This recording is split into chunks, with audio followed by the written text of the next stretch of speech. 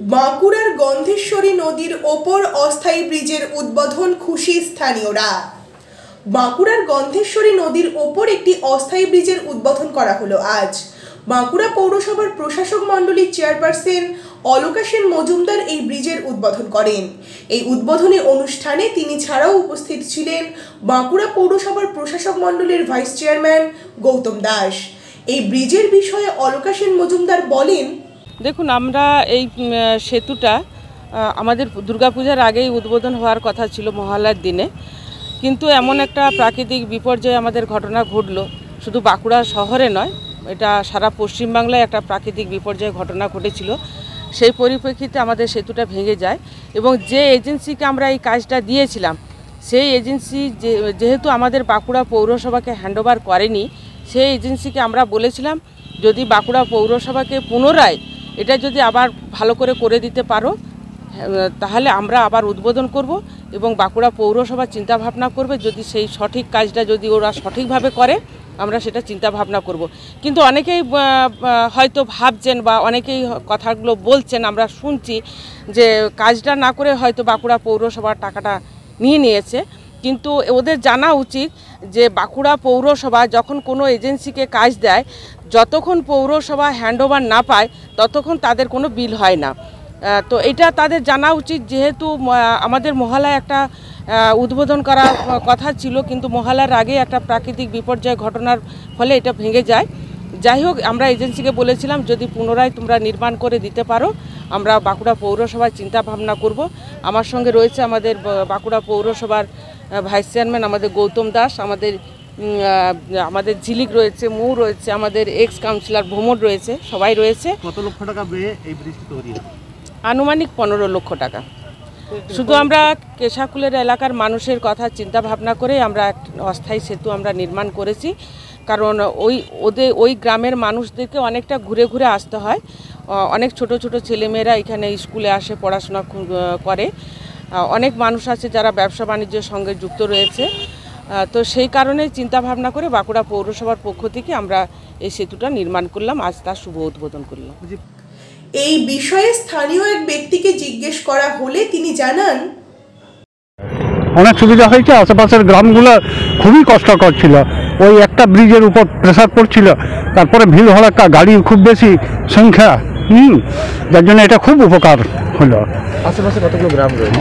প্রায় আপনার পঁচিশ তিরিশটা গ্রাম আছেই ধরুন। এই ব্রিজটা না হলে কোথা থেকে ঘুরে যেতে হচ্ছে? একদম ওই বাইপাস ষাট নম্বর জাতীয় সড়কের একটি মাত্র ব্রিজ সেইটি দিয়ে যাতায়াত করতে হতো। কতটা ভয়ঙ্কর ছিল অনেক ভয়ঙ্কর অনেক ভয়ঙ্কর অনেক বড় বড় গাড়ি পার হয়। হ্যাঁ যেহেতু জাতীয় সড়ক। একদম দুর্ঘটনার খুব ইয়ে ছিল। তবু এখানে পুলিশ প্রশাসন খুব ভালো। যার জন্য ওটা হ্যাঁ? আজকে তো উদ্বোধন হলো এবং পারাপার করতে হুম পারবেন। হুম হুম হুম। কতটা আনন্দিত? অনেক আনন্দিত খুব আনন্দিত। আমি তো দেখার জন্য শুধু এসেছি। যে এটা যে আমার দেখার ছিল। হওয়াটা তো বটে আমার দেখার ছিল এটা দেখতে আমি এসেছি শুধু। আমার অন্য কোনো রারবঙ্গের কনভেনার পার্থসারথী কুণ্ডু এই ফি বছর অস্থায়ী ব্রিজ নির্মাণকে ভাওতা আখ্যা দেন।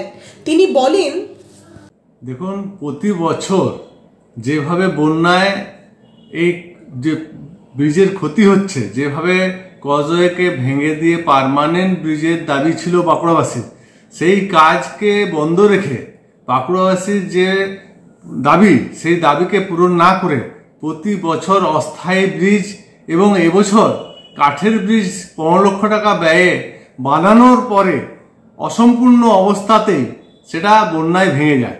এবং তারপরও আবার সেই ব্রিজকে চালু করা হচ্ছে।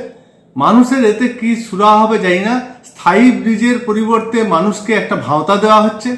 মানুষ এ প্রতি বছর বন্যায় ভেঙে যাবে এবং আবার ওনাদের কাটমানি পকটস্থ হবে এবং লক্ষ লক্ষ টাকা অপচয় করে এই বাঁকুড়া পৌর প্রশাসনের যে কি ধরনের কাটমানি রাজ চলছে সেটা মানুষ প্রত্যক্ষ করছে, কারণ প্রতি বছর বন্যায় ভাঙবে আর ওনারা কাটমানি এবং অপকটস্থ করার জন্য এই ধরনের অস্থায়ী বীজ বানাবে। স্থায়ী বীজকে দীর্ঘদিন ভাব যাবৎ কাজ বন্ধ থাকায়, আজকে মানুষের কয়েক বছর যাবৎ যে ধরনের এলাকাবাসীকে দীর্ঘ পথ অতিক্রম করে জীবনের ঝুঁকি নিয়ে এবং সময় নষ্ট করে দুস্থ রুগীদেরকে বাঁকুড়া শহরে হসপিটাল, অফিস আদালতে আসতে গিয়ে যে পরিমাণ হয়রানি হতে হচ্ছে সেদিকে তাদের নজর নেই। তারা মানুষকে ভাওতা দিয়ে কাটমানি খাওয়ার উদ্দেশ্যে বারবার এটাকে জিয়ে রেখে এই ধরনের যে পকড়স্থ করার উদ্দেশ্য নিয়ে আজকে এই কাটমানির জন্য এই অস্থায়ী ব্রিজকে করে এই পৌর প্রশাসন একটা লুটের রাজ চালাচ্ছে। তাই ধারণা হ্যাঁ, আগামী পৌর নির্বাচন মানুষ তার যোগ্য জবাব দিবে। মানুষ নাগরিক পরিষেবা থেকে বঞ্চিত হচ্ছে, অতএব আগামী পৌর নির্বাচনে বাঁকুড়াবাসী যোগ্য জবাব দেবে। Excellence institute, Subhash Palli, Kameshwari road, Cooch Behar. Number one leading institute in entire north east and north Bengal, with lowest fees ever fulfill your dreams with excellence institute. Courses ANM GNM nursing entrance JEE NEET bsc nursing foundation course class 6 to 12 cbsc icsc wb board Olympide KVPY NTAC Allied Science for Nurses. Contact us 9083456979 or visit website www.excellenceinstitute.com.in. Classes start in October.